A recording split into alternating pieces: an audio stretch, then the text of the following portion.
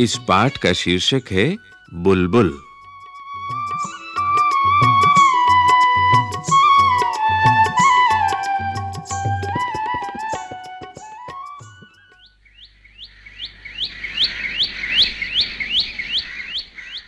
क्या तुमने कभी बुलबुल देखी है?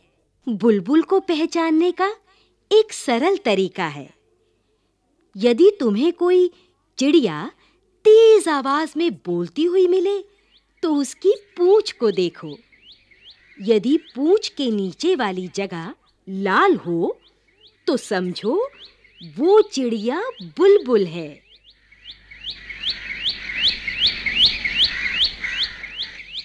जब वो उड़े तो पूंछ का सिरा भी ध्यान से देखना। बुलबुल की पूंछ के सिरे का रंग सफ़ेद होता है।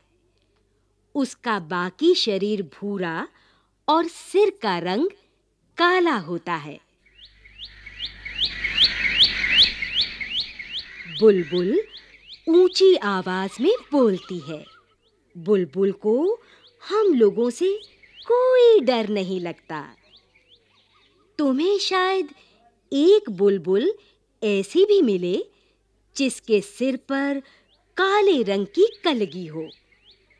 उसे सिपाही बुलबुल कहते हैं। बुलबुल पीपल या बरगद के पेड़ पर कीड़े ढूंढकर खाती है। वो हमारी तरह सब्ज़ी और फल भी खाती है। अमरूद के बगीचे या मटर के खेत पर बुलबुल काफ़ी ज़ोर से हमला करती है। वो अपना घोंसला, सूखी हुई घास और छोटे पौधों की पतली जड़ों से बुनती है। घोंसला अंदर से एक सुंदर कटोरे जैसा दिखता है। बुलबुल एक बार में दो या तीन अंडे देती है। उसके अंडे हल्के गुलाबी रंग के होते हैं।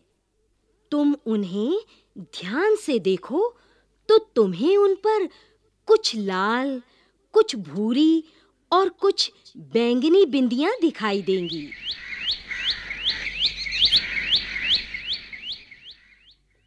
बुलबुल। अभी आप सुन रहे थे ध्वनि पाठ। विषय संचालन प्रोफेसर मंजुला माथुर, पाठ समन्वय लता पांडे, निर्माण संचालन प्रभुदयाल खट्टर, कलाकार गीता वर्मा और दिनेश वर्मा, तकनीकी निर्देशन सतीश लाड़े, ध्वनियांकन दीपक पांडे, निर्माण सहयोग दाऊ दयाल चतुर्वेदी तथा निर्माण एवं प्रस्तुति वंदना अरिमर्दन।